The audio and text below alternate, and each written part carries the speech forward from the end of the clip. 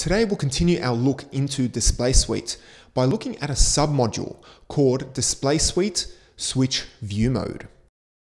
Let me start off this video with a question.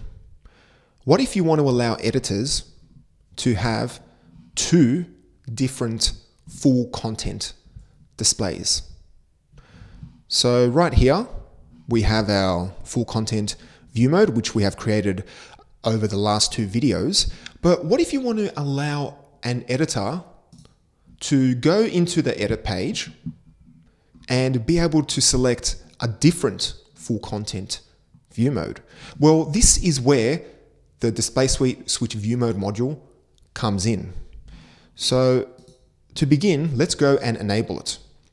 So go to Extend and just search for Display Suite, if I can spell that right.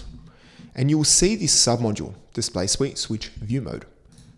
Just check it and install it. Now go to uh, Structure. And the first thing we'll do is create another view mode. Okay, so click on Display Modes and click on View Modes.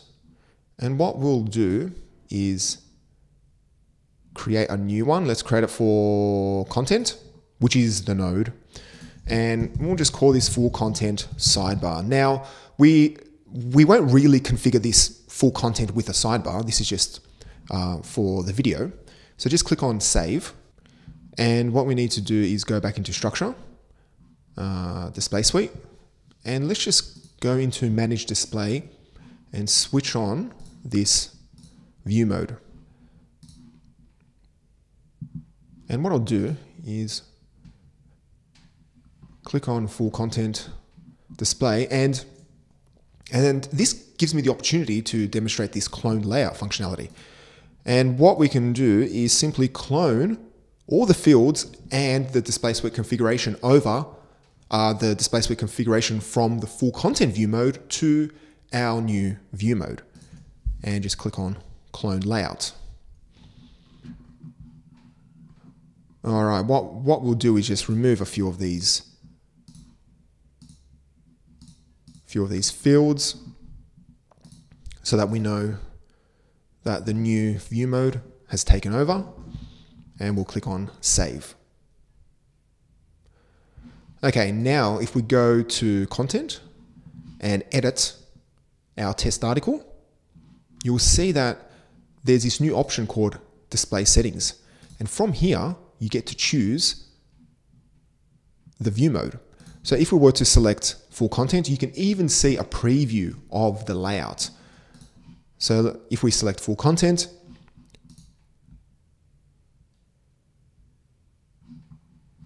you can see that this is our original full content, which is perfect.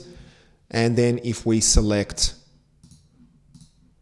full content sidebar, you can see that our other one without the two fields, so the title fields, are gone. And this gives editors an enormous amount of flexibility. They could essentially have different layouts for different for different types of pages, but they can still use the single uh, content type. And this makes your your site building life much easier because you won't have to create 10 different page content types just because an editor wants a different layout for a specific page. So the final thing I'll show you is the uh, permissions. So click on people and click on permissions. And there should be a, yeah. So the switch view mode submodule uh, implements a few permissions, which is useful if you want certain people to have access to the dropdown and other people you don't want to have access to the dropdown. So here you have three options. Um, switch uh, switch the view mode on any content type, and then these will automatically um, be added depending on how many content types you have. So if I was to create another content type called product, well then you would have the option called switch view modes on products, for example. So there you go. That's how you use the switch view mode submodule.